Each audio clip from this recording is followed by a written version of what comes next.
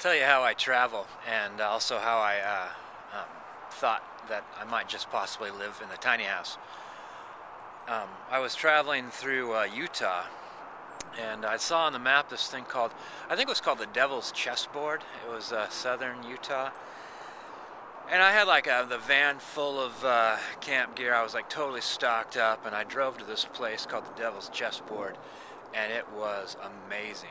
It was so beautiful these uh, just rock formations um, and sandstone uh, valleys. Um, just beautiful.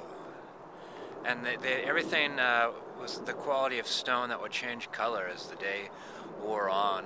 And so you're surrounded, you can sit and watch the exact same thing hour after hour, and everything had a different hue.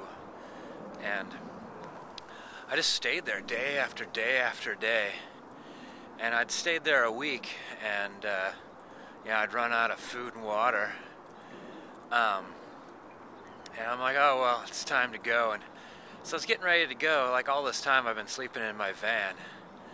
Um, I kind of pace out a medium-sized trailer uh, on the rocks.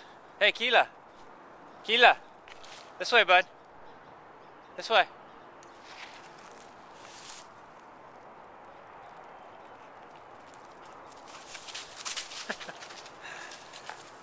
I kind of uh, pace out like a, uh, you know, essentially the tiny house size, uh, 13 feet by uh, 6 feet. And uh, I pretty much spend the day hanging out in that, uh, in that square. I made little, a little rocks, little rock boundary, and sat in that square and watched, for my last day, watched the, just the rocks change color.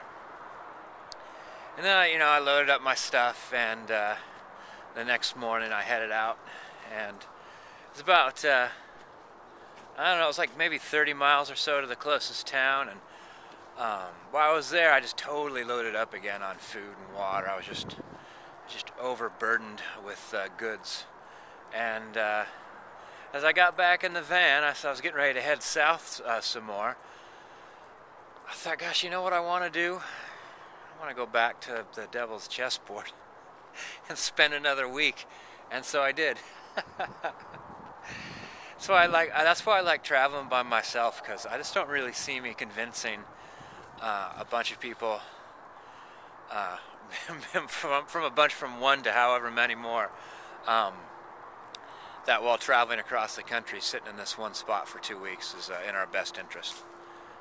So that's how I travel, and that's uh, how I decided that living in the tiny house would be uh, would be doable. All right.